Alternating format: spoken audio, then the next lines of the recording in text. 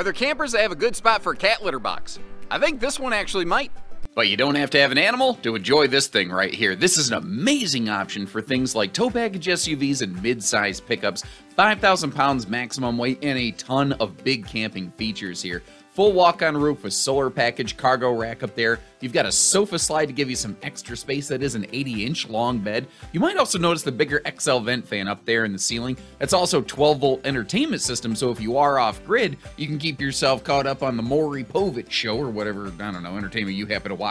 You've got a choice between the taupe or a white farmhouse decor on here, also a 12-volt or a two-way fridge, and that's what I call a Plaza-tainment center. Pantry, closet, entertainment center, one, two, three punch combo.